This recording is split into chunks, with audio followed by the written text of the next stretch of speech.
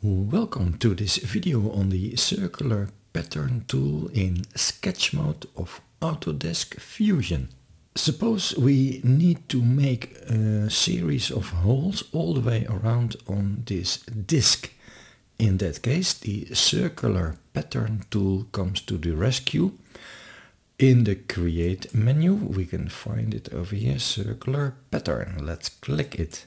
The first thing to do is select the object that we want to pattern, in this case this circle, I click it and then we can select a center point. Uh, let's go to this menu over here, select the center point, uh, activate the selection and then click a center point.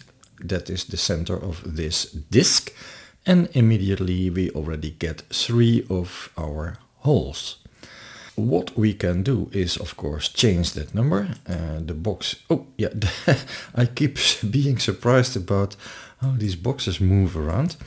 Uh, but anyhow, uh, as we can see, we can simply keep clicking until we have the number of circles that we need. Actually, that's all there is to it, but there are a couple of options. Over here in the menu we see a drop down box with distribution. Currently it is on full, which means we have made a full circle. We can also uh, select partial and then uh, another field opens and we can type in a number of degrees. Well, let's do one third of the circle, 120 degrees. And well, oh, I should not have done that. I hit enter. Oh well, then I can already show another uh, nice thing. If you need to make changes, we see here our circular pattern uh, icon and let me right click it and then I can edit this pattern and then I have my menu back. Um, okay, so uh, 120 degrees, it starts uh, at our uh, main object and then uh, apparently it works counterclockwise.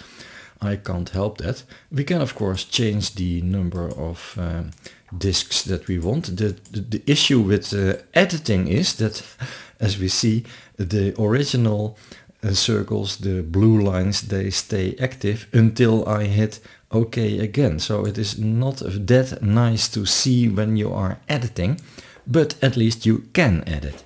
Okay, I restored our original full circle again. Uh, another option that we find over here is symmetric, which simply means that we get the number, the quantity of uh, objects that we put over here symmetrical uh, uh around our main object. And yeah, that can sometimes come in handy. Uh, in many cases, an odd number, of course, works better than an even number. Uh, but with an even number you can also say that the center of uh, symmetry has changed a little bit. Anyhow, uh, this is all that there is to tell about the um, circular pattern. No, not really. We also have, like with the rectangular pattern, a suppression tick mark.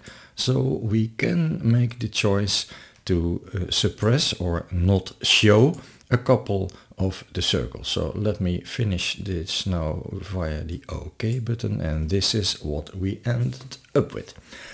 Uh, this was it, thank you for watching and maybe see you back in a future video and in the meantime have fun.